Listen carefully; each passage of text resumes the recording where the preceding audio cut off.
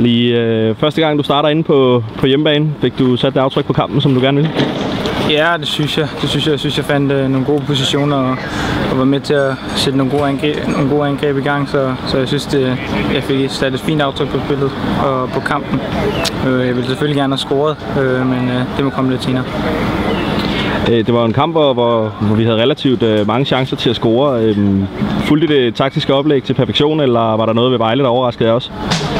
Øhm, jeg synes ikke, vi fulgte det til perfektion, men jeg synes, vi gjorde det rigtig godt. Øhm, vi spillede, som, øh, som vi havde planlagt, og vi vidste, at øh, der var muligheder, hvis, hvis vi gjorde de forskellige ting, som vi havde planlagt, så, så det fungerede i hvert fald rigtig fint. Og nu venter der så en, øh, en sidste kamp mod, øh, mod Silkeborg. Hvordan skal den gribes an? Øh, det skal gribes an, som vi griber alle andre kampe an. Altså, øh, vi vil gerne ud og være spillestyrende og, og kontrollere kampen, så, så det er i hvert fald det, jeg forventer. Programmet præsenteres af Unibet, sportsbetting på mobilen.